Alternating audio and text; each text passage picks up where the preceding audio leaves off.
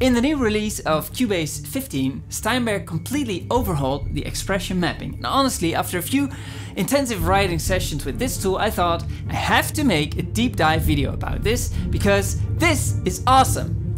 Writing orchestration has suddenly become more accessible to everyone. Hi, I'm Ewout from Relvoet Productions. Welcome to this deep dive.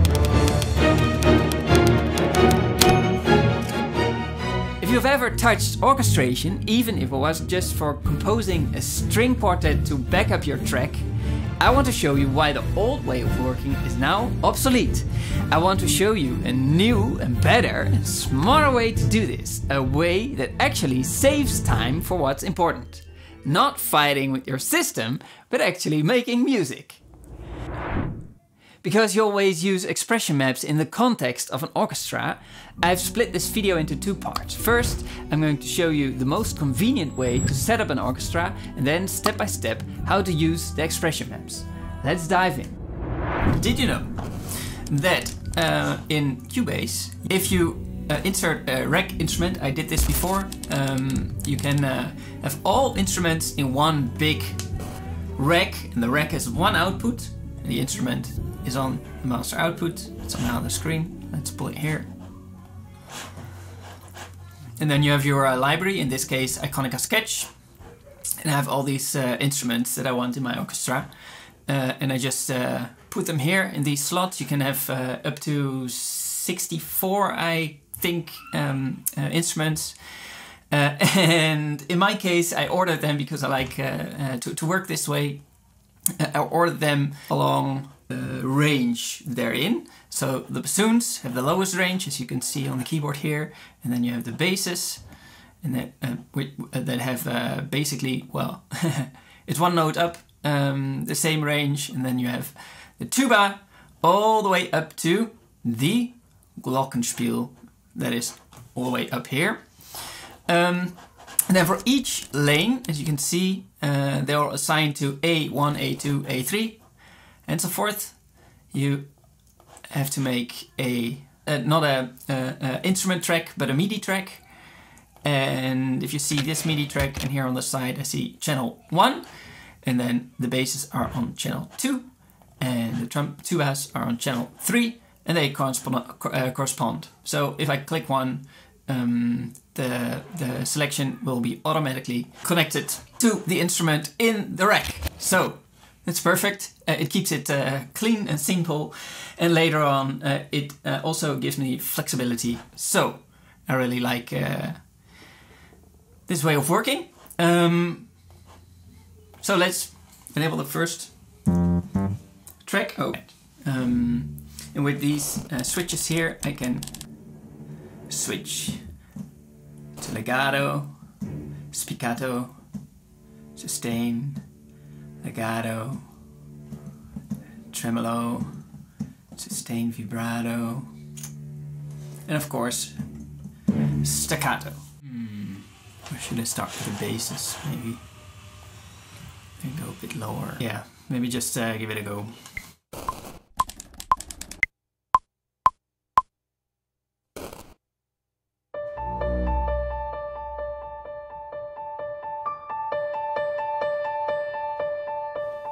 I'm just another sleepless dreamer, watching the indigo blue as it fades into your world as the lights dim. So many places and so much to do. Memories that my mind keeps running through. They all seem to revolve and to gravitate into.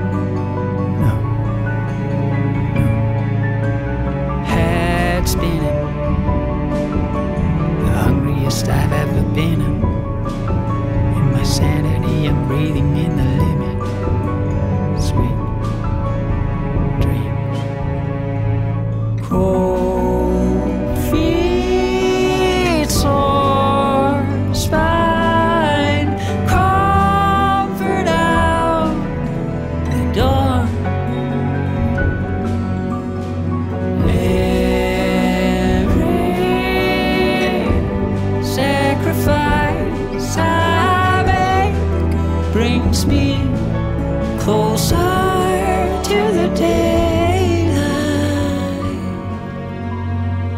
Well, e- Now, what we do, what do we want to do next? Uh, let's see. I got the basses, the celli, another uh, harmony layer on the second verse. And listen to my uh, mind's ear. I hear them. Let's do them. Okay, I recorded the violins. Let's play it back.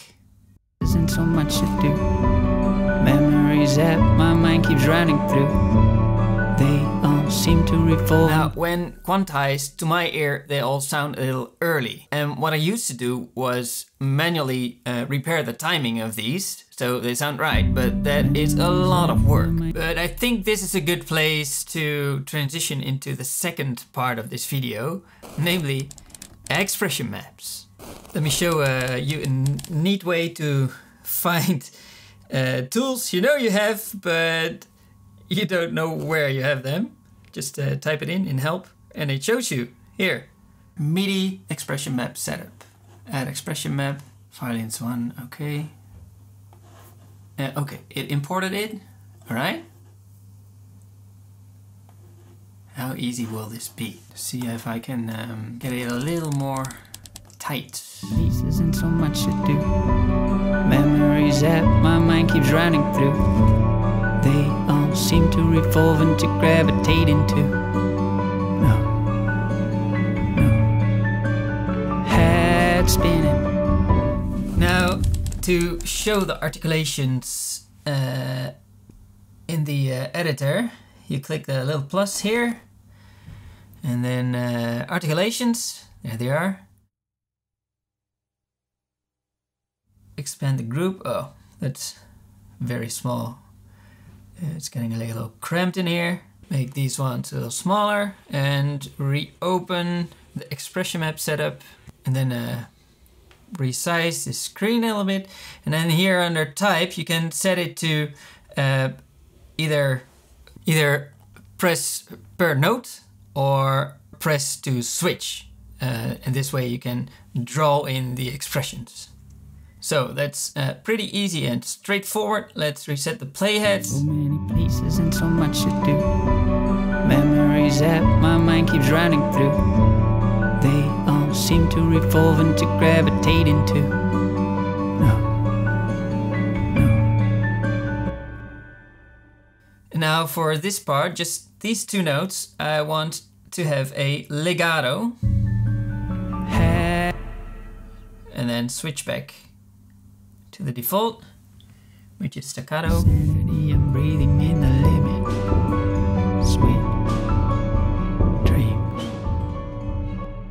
then here, back to legato. It's already finding the beginning of this note, so that's perfect. Violas, violas. Let's uh, record them, and uh, I'm gonna try something out here.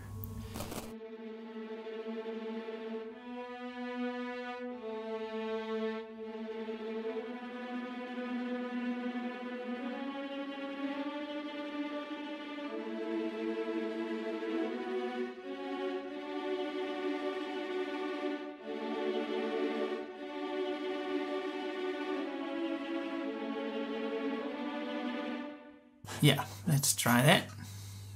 For the chorus, the second part of the chorus. Every sacrifice I make brings me closer to the daylight. Well, every Get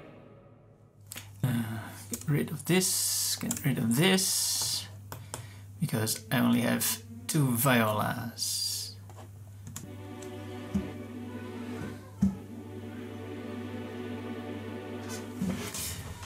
It should work.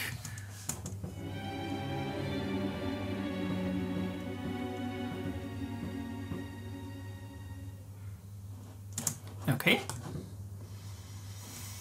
I think we're almost uh, done. Listen to the whole thing.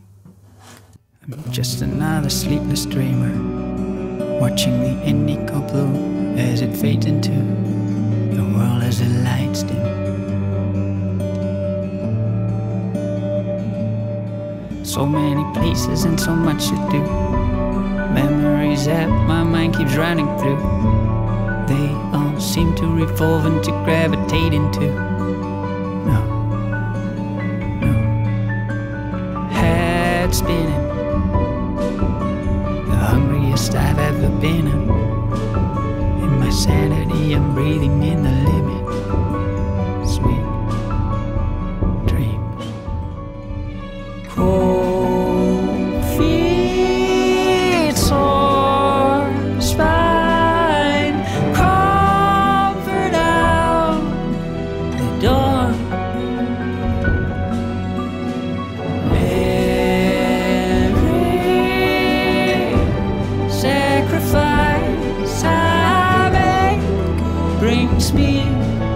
Closer to the daylight. While everything is dark and heavy. So that is how the workflow looks now. Before I give you my final thoughts, if this video helped clear things up for you, please hit the like button, consider subscribing, it really helps out a tiny channel like this and ensures you don't miss the next deep dive. Now, full disclosure, I haven't been composing for orchestras like Hans Zimmer or Dom Sigalas might. I don't know if he actually does this, but he definitely could. But I have dabbled in this subject a few times. You might recognize this feeling. In the past, it usually led to endless tweaking and frankly a bit of frustration. It actually made me shy away from writing those beautiful cinematic backdrops for my music. And that was a shame because I was raised on the great masters of classical music Mozart, Bach, Beethoven, Vivaldi. I absolutely love those interweaving strings, brass sections that literally knocked your socks off, and flutists fluttering freely through the sonic, sonic landscape. Flute is fluttering freely through the sonic landscape. but while researching for this video, it hit me. I don't know exactly how it was before, but the way expression mapping, work, expression mapping works now, it feels exactly how it should be. I don't think there's any other DAW that managed to pour it into such a fluid workflow. And I hope Steinberg patented this because for anyone drawn to cinematic music, Cubase is going to have a serious edge. However, while Steinberg nailed it with expression maps, I can't say the same for every new feature in Cubase 15. I took Omnivocal for a spin, thinking it would be cool and fun. Well, let's just say uh, the experience was a very different story. but if you want to see me suffer and find out my honest take on vocal synthesis, you need to watch this video right here. Thanks for watching. See you there. Relvoet out.